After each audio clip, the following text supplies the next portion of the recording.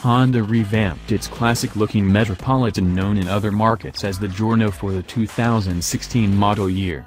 Early models enjoyed a bit of popularity starting back in 2002, but that took a hit with the changes made for the 13 models up through the 15s.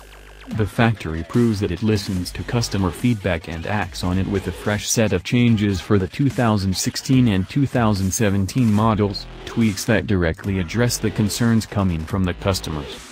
On the top of the list was a new, liquid-cooled engine that ramped up overall performance, as well as relocating the fuel tank for more storage under the seat. What we have now is a scooter that aims to regain the popularity it once enjoyed with a classic look and a revamped engine. On top, we have the headlight housing that extends to cover and conceal the entire handlebar from grip to grip with the round speedometer and switch housings all contained within. The curvaceousness continues in the front fairing and leg guard area with an almost dome shape to split the wind and shunt it off to the sides. Although the curves do continue into the deck and rear side covers, they re fairly one-dimensional and leave the rear end looking a little slab-sided. One of the griping points with the previous generation was the lack of storage.